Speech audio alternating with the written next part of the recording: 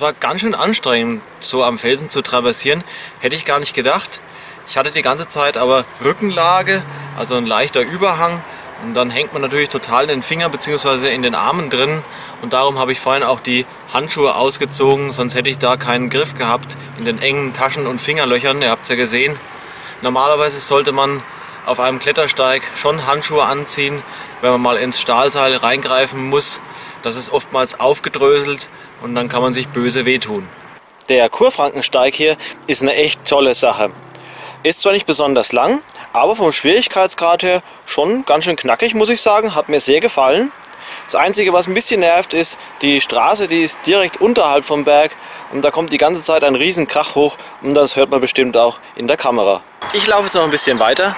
Keine Ahnung, ob noch was kommt. Ich bin zum ersten Mal hier. Ich lasse mich überraschen.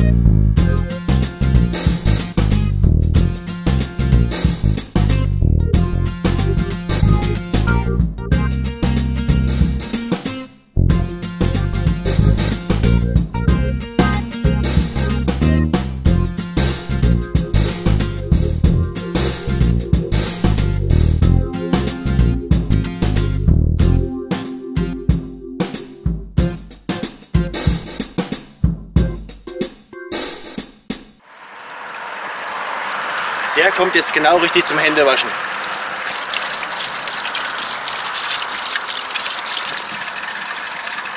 So, das war's auch schon wieder. Danke fürs Zuschauen, macht's gut und bis zum nächsten Mal. Ciao!